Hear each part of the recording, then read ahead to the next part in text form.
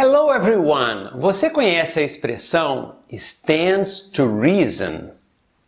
Stands to reason significa chegar a uma conclusão lógica, fazer uma dedução sensata ou descobrir as razões para chegar a um fato óbvio.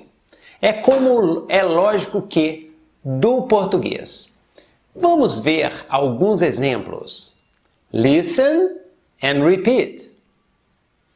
Se as amigas dela não querem viajar com a gente, é lógico que ela também não vai querer viajar. If her friends don't want to travel with us, it stands to reason that she won't want to travel either. If her friends don't want to travel with us, it stands to reason that she won't want to travel either. É lógico que se você for simpático com as pessoas, você terá mais amigos. It stands to reason that if you're friendly to people, you will have more friends.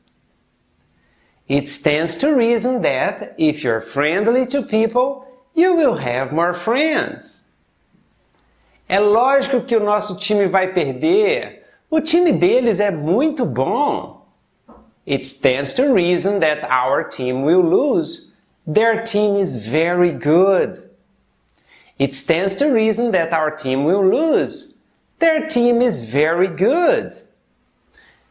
Excellent! Agora faça uma frase usando stands to reason nos comentários abaixo e melhore seu inglês. Siga o Melhore Seu Inglês no Instagram, no Facebook e procure pelo podcast Melhore Seu Inglês no seu programa de podcast. E para aulas de inglês por Skype ou WhatsApp, individuais, personalizadas, focadas em conversação e para todos os níveis, basta entrar em contato comigo ou com a professora Érica.